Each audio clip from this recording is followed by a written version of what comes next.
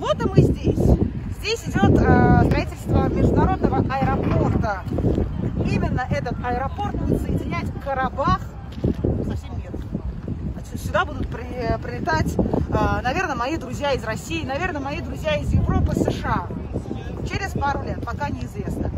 Но вот эта часть, там, где вы сейчас видите моих коллег, чуть дальше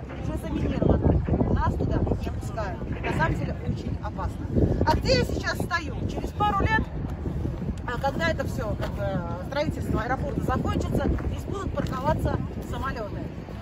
Вот так вот. А пока мы снимаем стендап именно для вас. Я и Тайджарчиева. Специально для вас. Карабах.